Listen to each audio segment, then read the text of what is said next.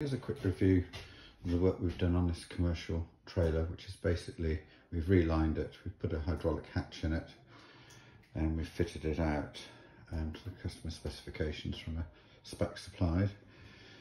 Um, you can see, because these aren't straight airstreams, there's always a little kink in them, we've had to scribe in, there's no, we've used no um, filler or um, silicone yet.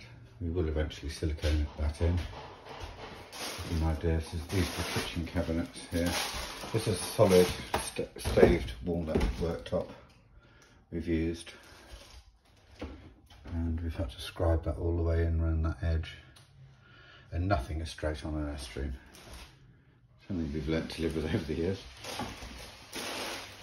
Uh, we've put down this ply floor here and we've done that curved seating area that's going to be upholstered on top.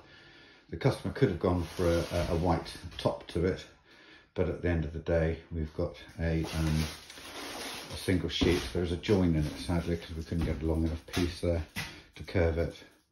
Um, but these tops could actually be made out of white but they're, they're under the um, we're doing I think it's having red leather put into it. So all the cabinets here are made on site. So let's have a quick look at one here they've all got their still got their protective layers on which we'll keep on till the very end but this one is actually a matte grey and the the edges are still yet to be filled and sanded and um, we'll Osmocoat those. looking inside the units, they're all constructed here. So they've got the three millimeter backs in them. And have a little bit, look, there's a wheel arch underneath there, soft close hinges. So there's. These are marine latches. They have to be in there to stop it from uh, coming open in transit. Uh, this one, uh, we put a glass washer in and there's a wine rack in the corner. This is actually a commercial wine bar, this one. So once that hatch there is open, it will basically give them a um, serving area. But we restored the entire Airstream from the chassis up. It's only had its first stage polish at the moment, so we're still yet to do a final polish on her. She's had the axle conversion, but you know, this is um, 1970s one, very hard to get a decent polish out of a 70s Airstream. But, um, and then down the side there, you can see, but that will come up a bit brighter.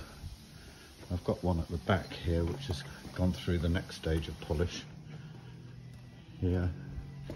This is going through its final stages of polish. This one's got some damage here we've got to repair. Um, but this is going through final stage polish. As you can see it's uh, almost mirror like and that's the back end of that one. That is a that's a 25 foot um, 1970s trailer. So it gives you plenty of space to work with. So that's just an idea of the kind of things that we do.